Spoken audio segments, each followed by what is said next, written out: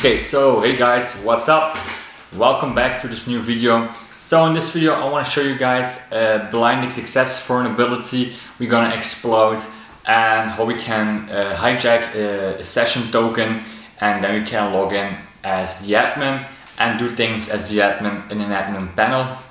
I think this is a really fun attack and I wanted to show you guys this attack because I think it's a little bit more complex. You need to set up your own server, do some requests and get some data. But I think the, the first part of this uh, video where you can see like how you can spot blinding success just by turning on your own server and capturing the responses. I think this is really, really helpful, especially when you're doing bug bounty. I think you should test for this too if you get, uh, didn't get response. Uh, if you don't get response in the browser itself, so let's say you have an input field and your input is test, you never see test, but it's going back to the backend and you don't know if it can be exploited, then it's this a really good, uh, a good way to, to, to, to test your, uh, to test the code if it is exploitable. Second thing is if you guys like this video, please give me a thumbs up and a subscribe.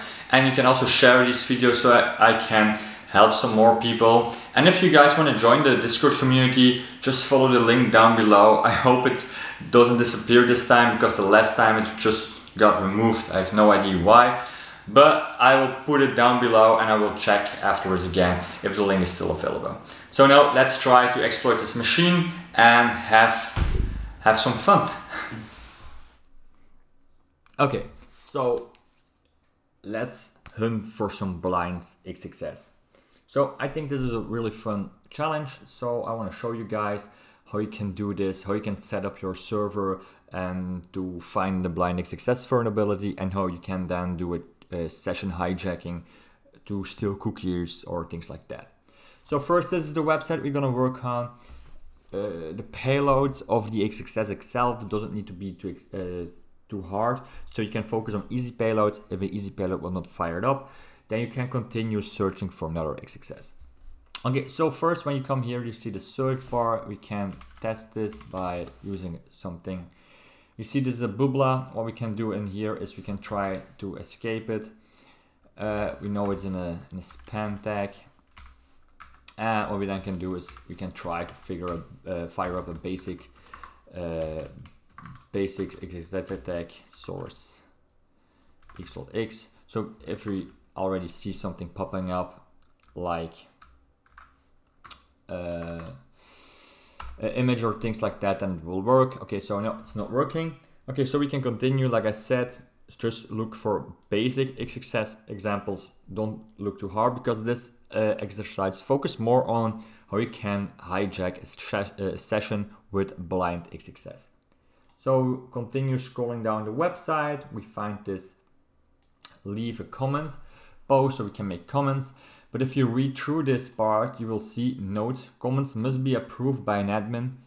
Uh, so when you submit, they will not uh, appear back to the website. So you already know if you want to check this out, you need to check for a blind XXS vulnerability.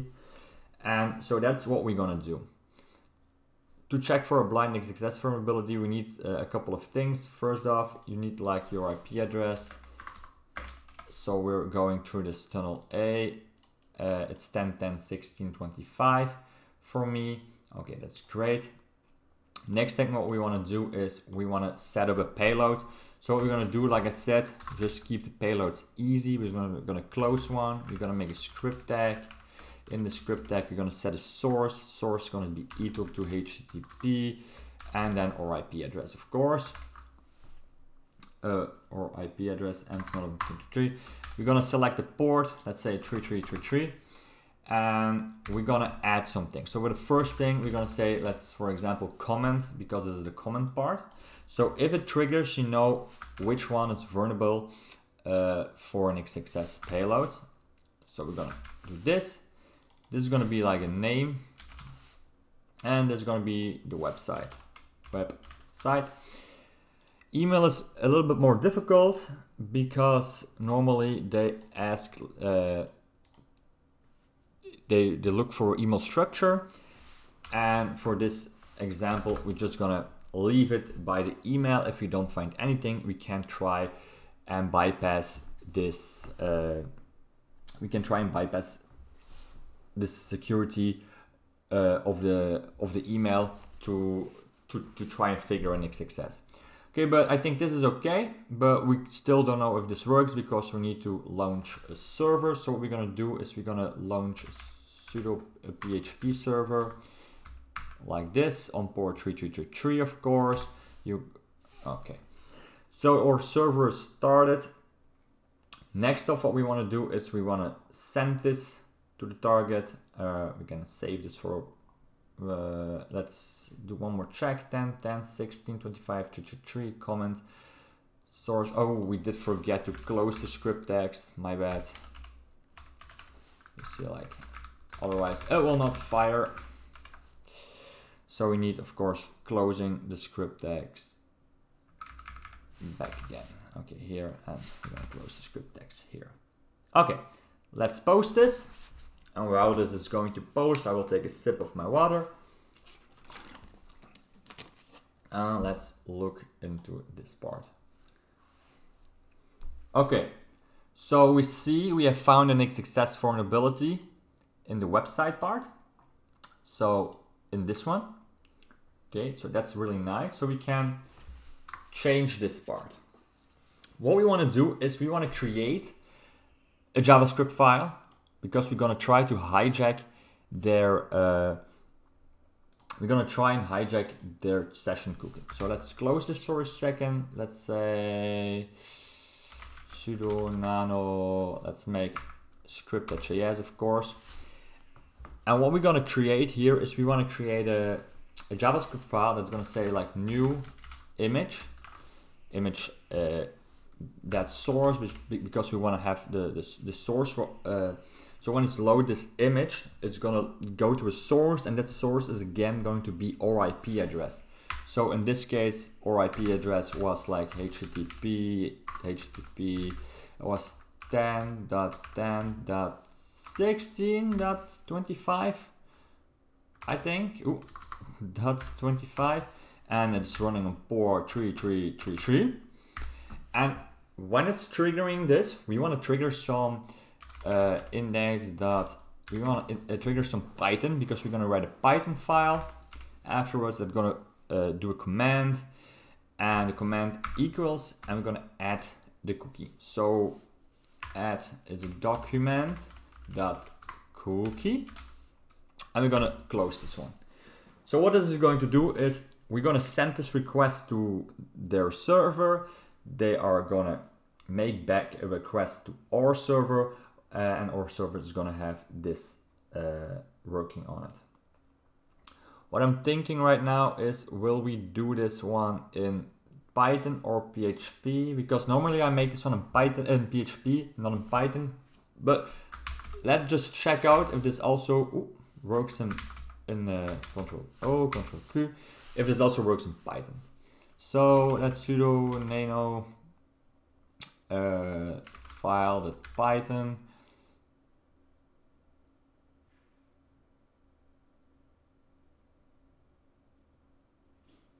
Oh, not file. I need to be, it needs to be indexed Python, index with Python. Okay, because we named it index, of course. Uh, what we want to do here, let's grab real fast Visual Studio Code and let's code it here, copy it and paste it in the other one. So we want to import uh, the URL library, URL, oops, sorry, lowercase, URL lib. When we have done this, we're gonna look for the C if uh, we have this uh, lowercase c from command in request dot args request dot args. Okay let's go that did I mistype something? Request. Okay yes I did re uh, make the typo. Over there so don't make typos. It's really horrible then we say cookie underscore the cookie list. Gonna be equals to the request request dot args args and then we're gonna take oop, the c. So the command and we're gonna split it uh, and we're gonna split it away when we have the dash comma like this this one. So we're gonna split it on the uh, the, the the dot dot comma. Then we're gonna say like for value value in cookie list just every value in the cookie list you're gonna say the cookie is going to be uh, the url lib dot parse url lib dot url lib dot parse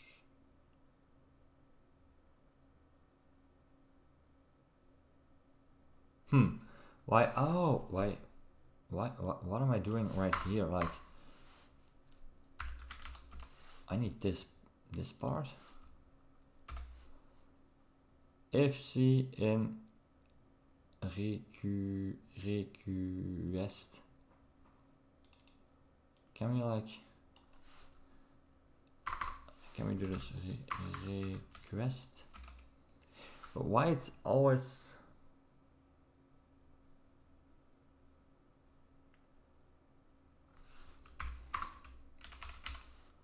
okay let's just continue this. Url.parse and when we have this parse we have unicode. I think then it's gonna be the value of course. Okay then we're gonna open with uh, open it's gonna be the cookie. Cookie and it's gonna be like the a. A plus a plus this one this one. Oh i did change something. Oh no i did not change something. Okay and then we're gonna say as a file. We've got file and we can drop down so we're gonna open it as a file and then we can say file dot write. We want to write. And what do we want to write? We want to write, uh, oh, sorry, like what do I, I, oh, I just want to write like the cookie for God's sakes, cookie, and we're to say like cookie. Going to be the cookie. Okay. Okay. Okay. This is the code we have. We're to copy this and so we're just gonna extract like the cookie. We're gonna write this, save this. Let's make sure it's in here. Uh, let's sudo nano for a second script. Did we change this to py index.py? So we have the source. Yes, yes, 16. I think this is. Ooh, did I? I think HTTP, I think this is good. So let's go out of this. Okay, so what, what did we have done now? Just to recap it real fast, uh, because coding and speaking and thinking is not that easy as it looked like. so we're gonna send a request again here. We're gonna take this request, but instead of going to website, we're going to our script.js. So we're going, uh, our browser is, is, is in hacking. In hacking, we have this, uh, when we ls this, we have this script.js. This script that, that JS is going to create like a new image, huh? but a source, and that source is going to grab our index.py. And from this index.py, we're going to send the cookie back to our uh, to our server, so we can read the cookie so that's what needs to be happening. Uh, let's say Bubla. Uh, let's change my name to Bubla. And we have here the script. Okay, I think let's just try this out, like for sure. Let's try if it works.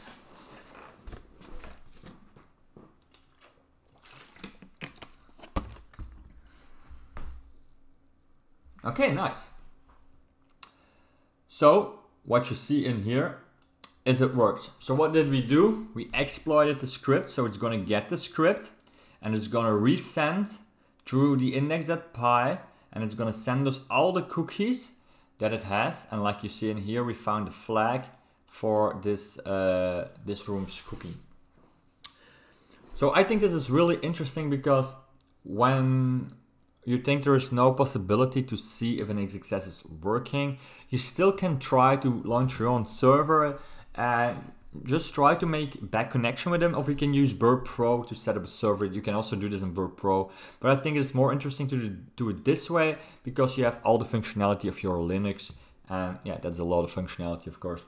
So I hope you guys uh, like this video and think it was interesting because I think this is a really nice setup of an attack and you can do both payloads like I did it in Python because I know how to code better in Python, but I also like uh, tested a script uh, with PHP, but my PHP is really not that good. So this is a working script for PHP, uh, but I, I looked it up for, for scripts to uh, hijack sessions, and this is a working one but like I said, like PHP is not my my my strongest uh, programming language. I, I really suck at PHP. I really need to to learn learn it a bit better. But you can also do it in Python, like I did, and that's I think it's way easier to to program it in Python. So you can go both ways. You probably can do it in, a lot more things, but I think those are the two go-to things. You maybe can even do it in Bash.